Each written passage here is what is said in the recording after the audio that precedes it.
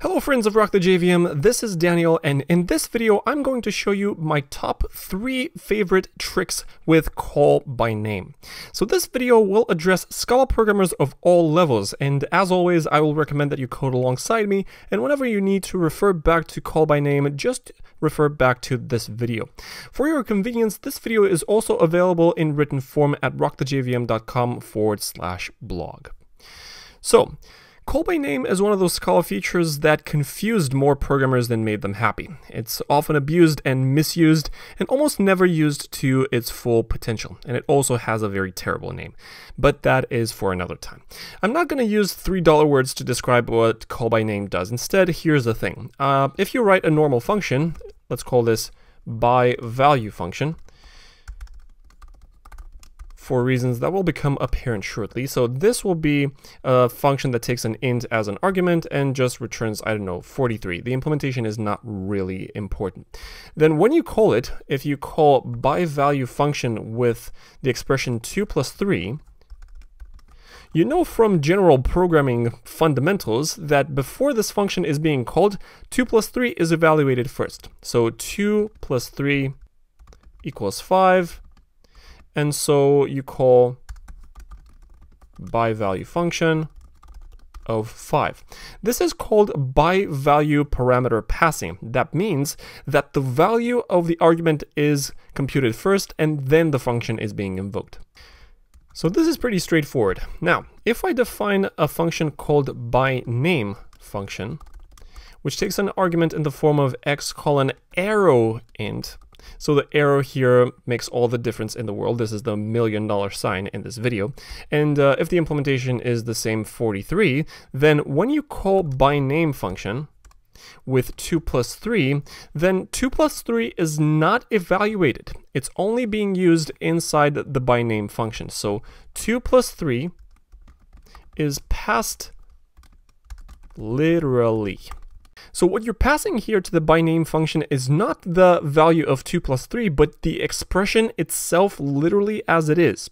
And the function by name function is now responsible for evaluating the expression by simply using the argument name. So if you do, for example, x plus 5, for example, if you refer to x, then you force the evaluation of x. This is why this um, argument scheme is called called by name because when you refer to the name of the argument, it's being uh, forced to evaluate. So this is, I suspect, where the terrible and very confusing call by name name came from. In the creator's defense, I cannot really find a simple one-two-punch name for this mechanism either. What do you call this? Call by expression or call literally? That phony call? Don't evaluate until they say so, whatever. Uh, I think you get the picture in a few sentences and in two lines of code rather than half a book on referential transparency. So uh, this is how call by name actually works. Now, I'm going to show you three tricks on why call by name might actually be useful. So I'm going to show you trick number one, which is re-evaluation. So this call by name mechanism is actually very powerful and allows greater expressiveness in Scala. The first example that I want to show you is that when you pass a by name argument like this, you can evaluate it as many times as you like. Now, uh, one uh, probably legitimate question might be, why would you want to evaluate x very many times? 2 plus 3 is 5 at every hour of the day. Well, not quite. Let me show you. So I'm going to define, let's call this by value print, which prints a long two times. So I'm going to print line x, and I'm going to copy that, and I'm going to duplicate it. And then I'm going to shamelessly copy this function, and then I'm going to paste it below, and I'm going to call this by name print, and I'm going to add the million dollar sign in this video. So uh, I'm going to define a function that takes a by name argument, and uh, prints that argument twice.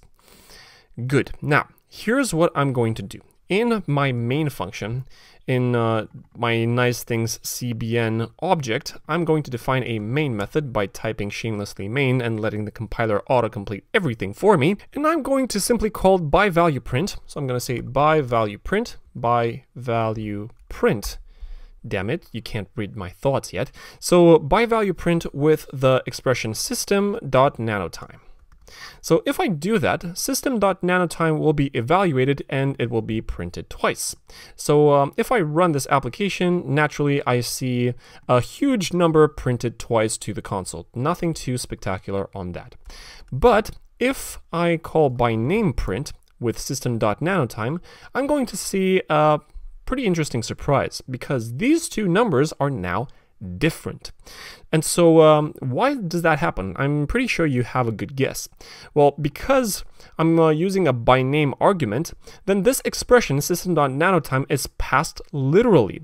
And so by name print will evaluate system.nanotime at every moment it is used. And those moments are naturally different because Yes, of course, because that's how physics works. So it's as if I said print line system nanotime and printline system nanotime again. So this is the equivalent code that's being executed when I call by name print with system.nanotime.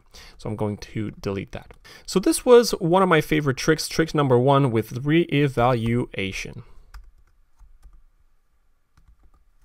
Cool, proper spelling, Daniel. Cool, let me show you trick number two, which is a pattern called call by need.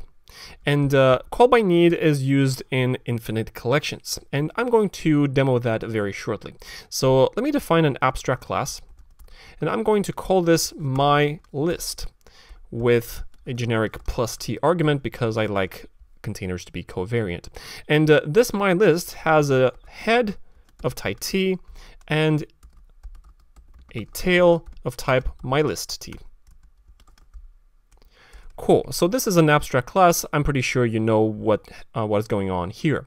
I'm going to define a non-empty list of type plus t, which has some head of type arrow t, and a tail, which is of type arrow my list t. And this extends my list t. So right now what I've done is I've created a linked list which has the uh, pointer to the value contained in this node to be called by name and the pointer to the remainder of the list to be an argument still with a call by name. Now I'm going to combine that with a lazy val. So I'm going to write the following. I'm going to say override lazy val head, which is h, and override lazy val tail is t. So I've implemented both of these methods. I've overridden the defs with vals, which I'm pretty sure you already know. And uh, whenever I refer to head, I'm actually going to evaluate this by name argument. Now, why is this pattern so powerful? Well, this is powerful because we are using by name arguments, and that means the arguments h and t are not evaluated until used, until referred to. And uh, they are referred to whenever head and tail, the members, need to be evaluated as well. So because the only places where we evaluate the constructor arguments are the initialization of the lazy values, which also trigger on first use, it means that neither the arguments nor the fields here are evaluated on construction. And even better, if the fields are ever used, they're evaluated only once and then reused again. So whoever refers to head evaluates it once and then reuses the same value. This is a pattern that is called call by need, which is when you combine a by value argument with a lazy field, which you can then reuse. This is particularly powerful with infinite collections. And uh, in Scala 2.13 and on, we have the concept of a lazy list, which is implemented with this exact pattern. Now, trick number three is a trick that I like to call hold the door.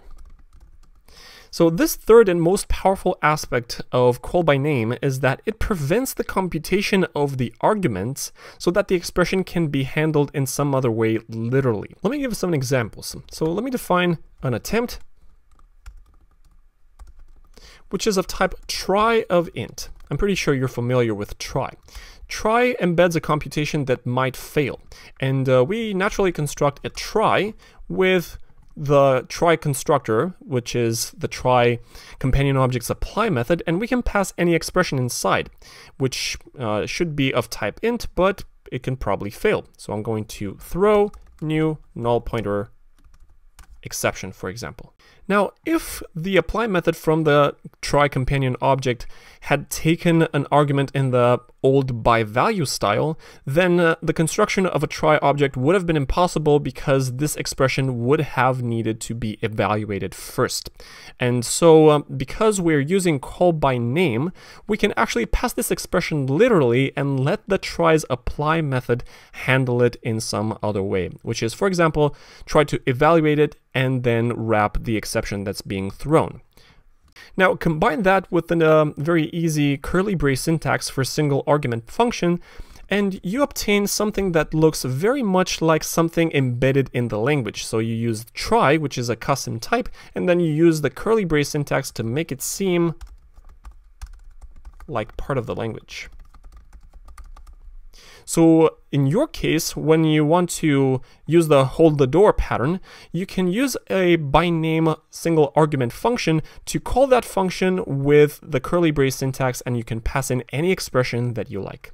Same with futures. If not for call by name, you couldn't pass an expression to be evaluated on another thread. So let me define a future, which is future the type, which I need to import from Scala concurrent, and the futures apply method also takes a by name argument, which I can then use with a curly brace syntax, and I can pass in a very hard computation for another thread, and I'm going to obviously return 42, and uh, just for my code to compile, I'm going to import the appropriate execution context. So Scala concurrent execution context implicits, implicits, damn it, implicits global.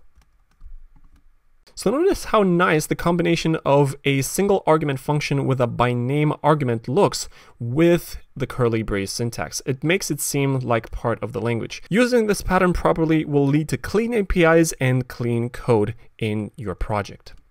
Alright, so I hope this was useful. I'm Daniel, and you can find this article at rockthejvm.com forward slash blog in written form, and you can follow me on Twitter and LinkedIn with the links in the description attached to this video. Now, I'm dying for feedback, so please leave yours in the comments, and if you like this video, go ahead and subscribe, because more videos like this will be coming soon. Until next time, thank you for watching.